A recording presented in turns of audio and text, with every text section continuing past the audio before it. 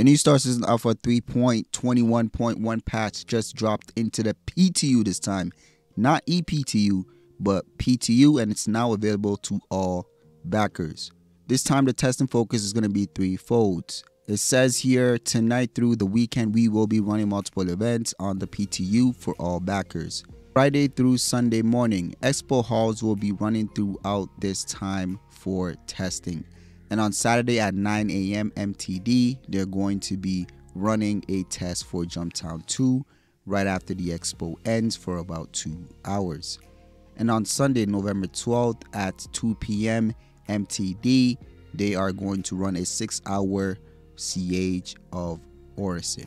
This patch comes with a few feature updates under the gameplay category. They made it a crime to tractor beam and own ship without permission.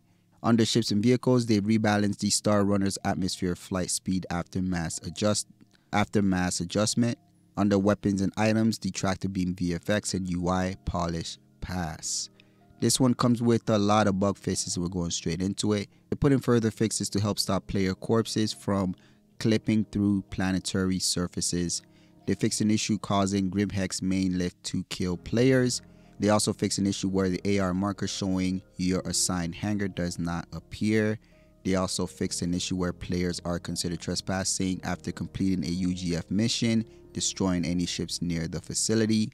They also fixed an issue where shops do not have any items in their inventory. They also fixed another issue where there's a large visible hole in the terrain in New Babbage outside of the Commons Dome. They also fixed another issue where enabling auto gimbal causes fixed wing guns convergence to be set to close. I noticed this myself. They fixed an issue where cargo UI marked from inside your ship appears on your HUD. They fixed an issue where the Kobe Blast weapons display glass is heavily frosted. They also fixed one where no hostile AI spawns and this is regarding Arena Commander, Vandal Swarm at Broken Moon. They also fixed another issue where the Solanki ships are marked as Nine Tail sympathizers. So that's been fixed.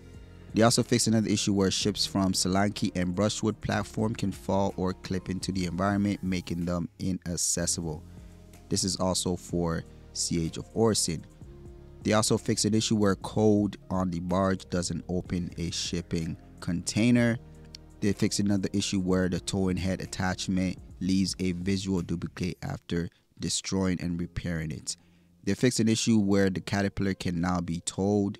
They also fixed another issue where the Tiger Claw card can be quickly interacted with and picked up after they have been inserted into a card slot. Along with this is one client crash, five server crashes, one server deadlock crash. And for those that don't know, my organization Phase 1 Industries is now recruiting new and veteran players. If you're interested, you can check out our Discord in the description down below. Make sure to leave a like, subscribe. I'll see you on the next video.